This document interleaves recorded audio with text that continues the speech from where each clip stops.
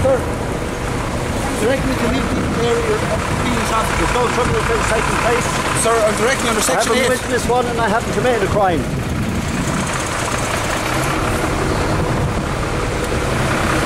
Sir, could you please, under section 8, directly to the area, I refuse to follow my direction. Sir, you're impeding traffic under section 9, public order. Sorry. Okay. Staring Sir, sir, I'm arresting you. I'm arresting you under section There's 9. no I'm arresting you under section 9 public order for an offence. You're frightening the dog. You're a very poor person. You're different. Sir, you refused to comply with my direction. So now I you're do being not arrested. consent to any Sir. act or statute. Sir. There's no criminal. Are you going to There's no crime being committed here. Sir. There's no crime Sir, being you're committed here. arrest. Please place, please place your hands behind your back, sir.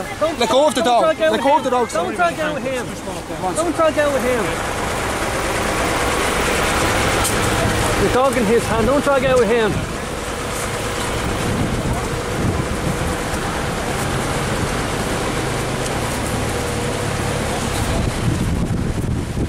Who you going to give the dog sir? Nobody. You can't bring the dog in the back of the van, so it's going to be let loose unless you give it to somebody. No, Okay. it can't be let That's loose. dog. Well, we'll, take, we'll get the dog pound to take the dog, so No, okay? it cannot be let Do you loose. want me to take the dog? No, cannot be let loose. Right.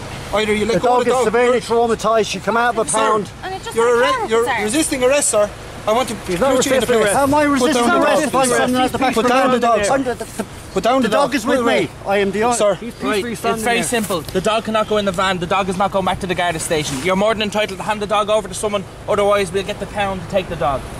Make the decision now. That's fine. We'll take the dog to the pound then. Okay? You're still going to be arrested either way. Okay?